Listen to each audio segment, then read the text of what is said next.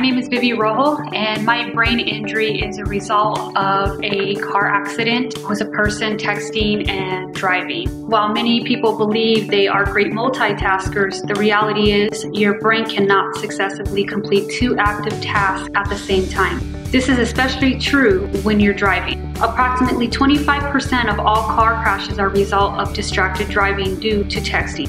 In 2018, 2,841 people died in distraction affected crashes, and every day, more than 700 people are injured while driving distracted. Remember, texting while driving is like drinking while driving. It's dangerous and illegal. Please think of others while on the road, including yourself, by waiting until it's safe to read and respond to texts. Your choices can and will save lives.